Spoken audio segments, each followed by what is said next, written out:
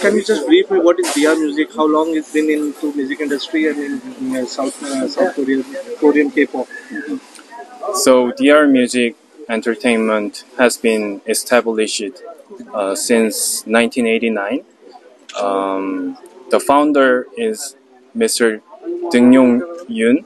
He's my dad actually, and it's been it's been on this business for over 30 years so far, and we've been we have been working with so many Korean artists, such as such as Baby V.O.X as one, and like we also did we we also have done some international promotion with um, Korean big artists Rain, J- JYP, etc. And now we are working with Black Swan and um,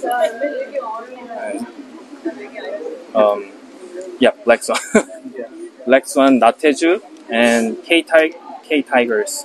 Yeah, we are promoting them. Is, uh, can you just brief me on how many people are the members of this K- K-pop usually? Sorry, I, I couldn't How hear. many members you take uh, in K-pop in your band and all? Uh, in our band or usual K-pop group? K-pop group Black Swan. Yeah. Our K-pop group Black Swan uh, currently, because of member addition, uh, member addition, now we have six members. Um, this is my first time coming to India, and I just I was just amazed by all the architectures and everything people around here. So I was so happy to be here, and like everyone's so wel- welcoming me so far, and I I love the food. Yeah.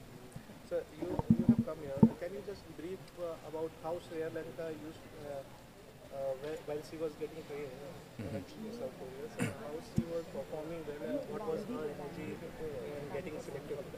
Um, first time when, uh, when she first came to Korea, which was like this last year December, um, I could see some passion, and uh, she's got she's got competi- uh, sorry, um, I could see passion in her uh, heart, and um, since January to to June, she's been. Uh, since January to May. She's been working so hard.